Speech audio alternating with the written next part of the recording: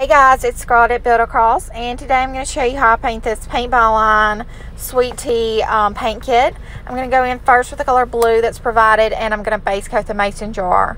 Um, of course this is a paint kit so that means that you'll receive a Paint by Line cutout size of your choice and um, assorted paints that I've chosen for the product as well as um, a little direction sheet and um, a Paint by Line marker um, which we use the Sharpie brushstroke markers, and a pack of 10 brushes.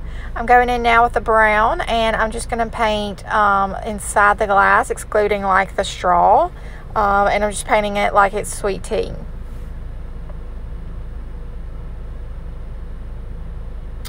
And then after that, I'm going to go in and paint the straw pink and I'll also go in and paint my lemon yellow.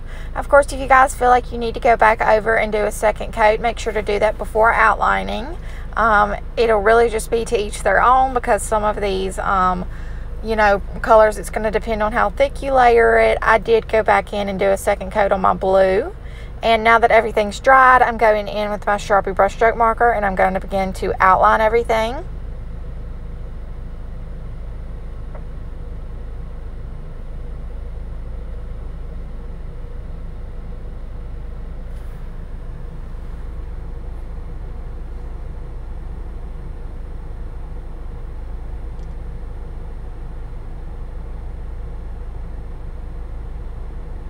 And then after I'm done outlining, of course, I'll go in with a little bit of white and highlight everything.